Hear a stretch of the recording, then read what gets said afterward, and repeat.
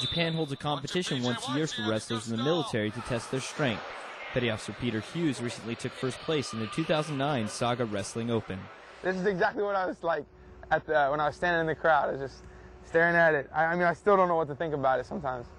Even with the surprise for Hughes, it was no surprise to his chain of command. They knew he would do great things at the competition because of his work ethic. Bowser Hughes is one of those sailors when we talking about hard work and dedication and honor, courage, commitment. That's Pastor Hughes. I mean, you look in the Webster Dictionary, you will see his picture there. This guy is a tremendous worker. He's a hard worker, not just dedicated to wrestling. He has that work ethic here at ACU 5.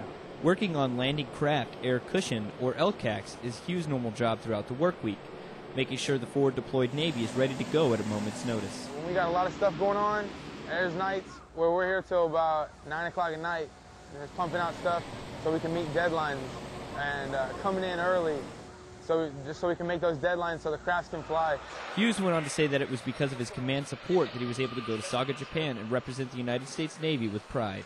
Life at ACU 5, I have to say, is outstanding. When I say quality of life, I mean, it's there.